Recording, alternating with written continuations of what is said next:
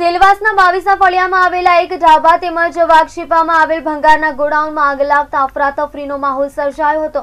સેલવાસના બાવીસા ફળિયામાં આવેલા આપના ઢાબામાં પાછળના ભાગે સળગાવેલા કચરાની શાળ લાગતા ઢાબો સળગી જવા પામ્યો હતો. જ્યારે વાઘશીપામાં કોઈ કારણસર ભંગારના ગોડાઉનમાં આગ લાગતા તેમાં રહેલો સામાન સળગીને ખાક થઈ ગયો હતો. આ બંને ઘટનામાં ફાયર બ્રિગેડના લાશ્કરોએ ઘટના સ્થળે પહોંચી જઈ એક કલાકની જહેમત બાદ આગને કાબૂમાં લીધી હતી.